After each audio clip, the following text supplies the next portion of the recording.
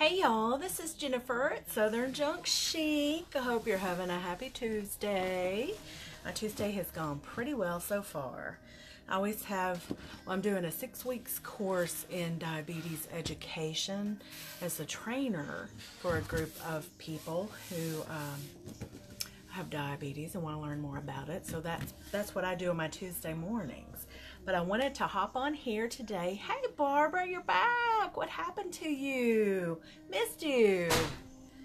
Um, today what I want to teach you how to do is to make your own salt wash, sea spray, rusty crusty kind of finish that will, you can either clump it up like that or paint it on.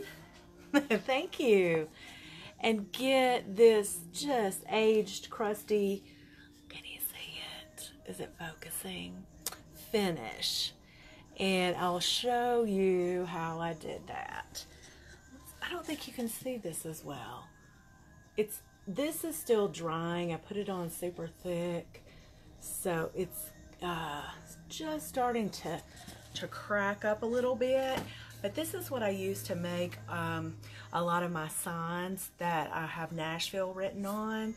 And I did them in the summer and painted them outside so the sun dried the paint and it added extra crackle and it looks so good. So I'm gonna get everything ready. So what I have used, what I'm gonna show you how to use today is, you know, I should have been from Texas because I don't buy anything small. Um, calcium carbonate, calcium carbonate, which is the same thing as limestone. And this is the brand I bought, and I bought it on Amazon. And I think it was $25, but I'll make it.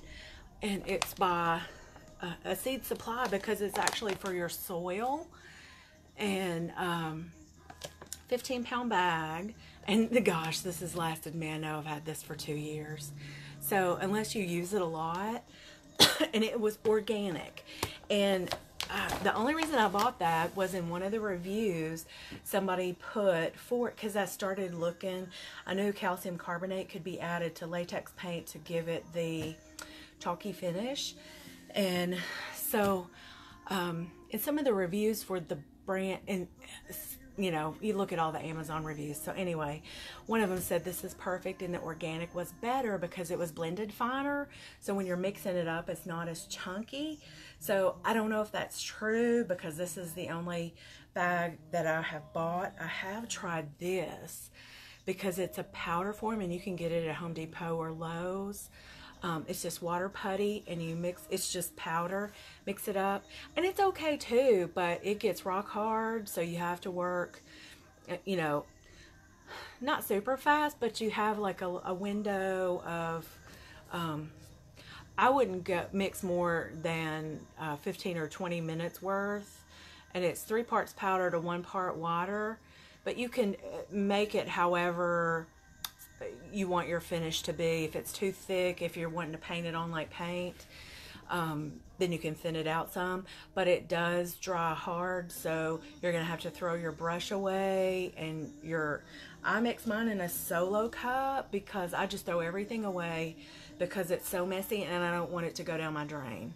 So, and Dixie Belle also has sea spray. Sea spray is very similar, but it's much uh, more finer powder than the calcium carbonate and it's actually what I used on this board. This is a sample I did at the Dixie Belle conference last year.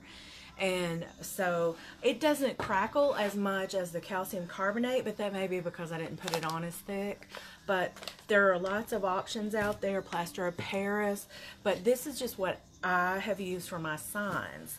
So um, there's no as a scientist, I'm not using the scientific method, so I'm going to move you down and show you how I mix mine up. So, uh, you know, again, I do it in the solo cup, and I put my powder in first, and I just bought um, some measuring cups at a yard sale, and so I just put, you know, I'm going to use less than a half a cup because I already made some up to practice with, So I already have um, some ready to go, but I'm just going to mix it up to show you guys. And it's messy, so you'll want to have a wet towel to wipe your hands with. I mean, messy is in if you get it on yourself. So I'm going to eyeball it and say this is this is a half cup measure, so I'm going to do about half of it, so a fourth of a cup. But really what I just do is um, then just put paint and try to mix it uh, one-to-one -one ratio with paint. And I have only used it with latex paint, and this is the paint that I like to use when I use latex paint. It's the Sherwin-Williams Super Paint because it has the primer mixed in. And this is Halcyon Green, which is the same, very same similar thing to um, Annie Sloan's Duck, Duck Egg Blue. And I would just use a cheapy chip brush. I wouldn't use any of your fancy brushes because just throw it away. It's going to be too messy to clean and you don't want it going down your drain unless you're working outside. So this is this is my scoop. If you have a scooper, you can probably use it, but this is what I scoop it with, is my paintbrush. Only because I don't have anything else here with me. So you can use a measuring cup if you have one. And it doesn't matter. It's really your preference. If you have it too thick, if you start um, putting it on your board or whatever it is you're painting and you see you have it too thick, then add some more paint and you can thin it down. So I'm going to lay my paintbrush on my lid. I'm going to move this over here out of the way. and then I just use, you can tell I'm all about disposal on this. I do care about the environment, but for this. And so you just mix it up and try to get some of the, the chunks. There'll be a few little chunks but try to mix it up as best as you can. And if you have a whisk, that works too if you have a, but you know, I don't want to wash it with this stuff, so. So it's, you kind of want mm, a little bit thicker than cake batter. I do because I like the, the thick paint because that's the whole point in doing this. So you can see how, how a little bit thick it is. And you can see some chunks in there, but those are okay. So you want the big ones knocked out. So that is good enough for me. If you want it thinner, add more paint or add a little bit of water. Either one of those works. And so here is what I have already done so far. I don't know if you can tell the difference. This I put on really thick. And then this, I cleaned off my brush a little bit and put it on a thinner layer. So it's not focusing. So you're to get more um, texture when you put it on thicker. You're going to get more crackles versus if you put it on thinner, but you're still going to see the real heavy brush strokes. And I think that's what the chip brush does too. I hope you can see. But I like either one. With the, the thinner layer of paint, you're going to get fine crackle. And with the thicker paint, when it dries, this is still a little bit wet because I was trying to dry it with the blow dryer. You're going to get big islands of crackle. So here is, and there's no um, right or wrong way to put it on. It's however um, you want to do it. So I'm going to get my same paintbrush that I scooped it out of the bucket with. And I just put it on the raw wood. I don't um, put any kind of paint primer on it because my paint comes with a primer. And I'm doing a sign. So, you know, it depends on what piece of wood or whatever you're, you're wanting to paint. So just, it kind of goes on thick and you can smear it on I don't know if I can zoom and then get you. So um, if you want it to be super thick, just take a glob on your paintbrush. And, okay, do like that. Put it on the board. And it can be super thick and you can just leave it like that to dry. I'm trying to get it on where or you can, and then you can cover over it so you can make whatever um, brush strokes you want to show. All right, I think I'm gonna have to zoom it back out. But, you know, it's really, it's so simple. It is so simple.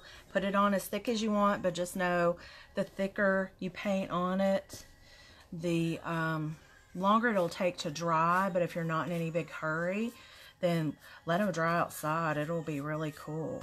So you can just smush it on. And then if you have lots of peaks that you don't want, like here's a big chunk. I usually take those chunks out because if you sand it, it's going to show, and these are signs, so it doesn't really matter, but it'll show the powder color, like just like with cake batter. I don't know why my phone keeps saying rotate.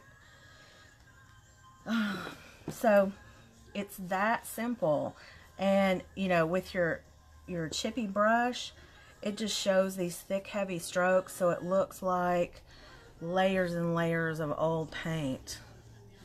And on the edges, I like to do, you know, big, thick globs, and then just gently pull your brush over it so it gives you different types of texture. And then I use this as the backdrop, you know, for my signboards, and then I stencil Nashville on top of it.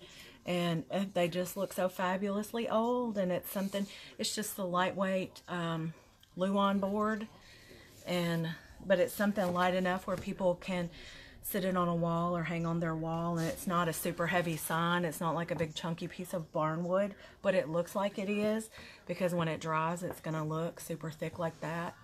Don't forget to paint the edges because they'll show, so you want to make sure, you know, that they match, or you can go back over after it dries and just paint it with regular paint. I only do this on the front of the boards. I don't paint the back of the boards with um, the Nashville signs. Mm -hmm, I do sell them. Yeah, I sell them in my antique booth and they're really hot sellers. Um, I sell them, I think this size one I sell for $10 and it has Nashville, Tennessee written on it. And then um, I have the, the bigger one that has like a postage postmark that I made into a stencil. So I stencil it on there. So you can just texturize it however you want. Put all those lumps and things like that. And as it um, dries, it'll settle back down some.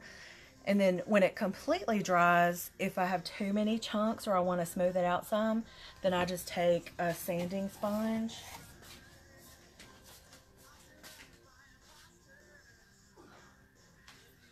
Or if I want to um, distress it or something like that, I just take the sanding sponge and go on top of it and knock down any of the peaks. And see if you get a real big chunk, it's going to do kind of like that. But that's going to look natural, you know, if you're going for the, the crusty, chippy look. So I just love all of the crackle that it shows. I mean, it looks like an old piece of, let me move you back up. Looks like an old piece of painted, painted, you know, over and over again because it's so thick. I hope y'all, I'll take a picture. I hope that you can see what it really looks like. Thank you, Barb. I'll get you one made. You will love it. But that was, I just wanted to hop on and show that to you. I use calcium carbonate, which is limestone, and this comes, I bought the 15 pound bag because I didn't, I was thinking in terms of, you know, what a sugar, bag of sugar looks like and that's about if you can imagine that that's if you get a 10 pound bag of sugar this is like 15 pounds of calcium carbonate. And you know get it on Amazon. I don't think I saw any at Lowe's or Home Depot or if I did I didn't realize that's what it was. But this was also organic because it's a little finer and it's by um, Seed Supply Company. But I mean there's lots of brands out there so just get whatever. And if you're this, if you just want a little bit, this was $2. So if you want to try this first, Durham's Water Putty, it's a... Um, it the thing I did not like about it, and it's nothing. It's just aesthetics only. It was a vanilla, you know, like a manila folder color. So it's more beigey yellow. Let me open it for you. but that was it. Otherwise, I got the same results, but um, you know, it's quick, hard time, and when it dries, it doesn't look that different, but that's it. So it's fine powder, but it dries rock hard because it's wood putty. So that would be good on a piece of furniture that you're trying to fix something on because it will fill in any holes, but it will also um, give you some texture with the paint. And it says to mix it with water, but I mix it with paint, so I wouldn't have to worry about painting on top of it. But you do whatever you want, experiment, you know.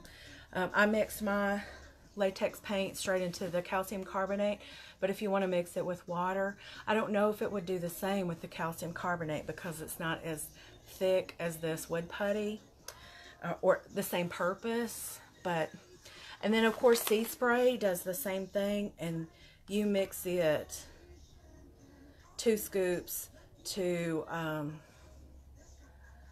let's see and mix it in with your paint so it does the same thing too so that is a good option um, if I have some if you want to buy any but I bought this calcium carbonate bag two years ago so I've had it and I want to to use it. Not that it's super expensive because it was $25 for 15 pounds.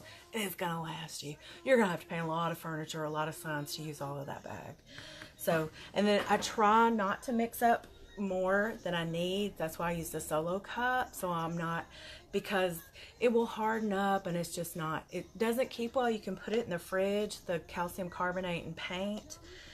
But, you know, it sets up and it just gets harder to paint with. So, that's your Tuesday tip. Tuesday tip is use calcium carbonate to create your own rusty crusty chippy paint. Mix it with cheap old latex paint, whatever you get. You know, get a little sample size of paint, but just get the color that you want, whatever you want to paint your sign with. And I just happen to have some Halcyon Green Sherwin-Williams because um, I love Annie Sloan's Duck Egg Blue color. So that's what I, I found a long time ago a list of Sherwin Williams colors versus Annie Sloan's, and I think they had Behr colors too. So um, I just would go get those mixed up because I'd rather have a gallon for $40 at Sherwin Williams using my coupon. So enjoy. Hope you um, try making your own rusty crusty paint.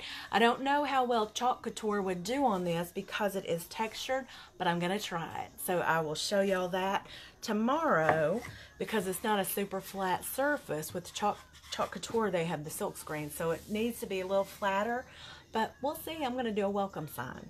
So anyway, I'm going to start doing your tips on Tuesday. So when you tune in on Tuesday, I'll try to give you a new tip of tip or technique, something that you can use. So thanks for watching, y'all. Have a happy Tuesday. Thanks, Barb. I'm glad you're back. See you tomorrow on my 30 days of live for October. Because I don't know if I can do it any more months. It's tough. See y'all.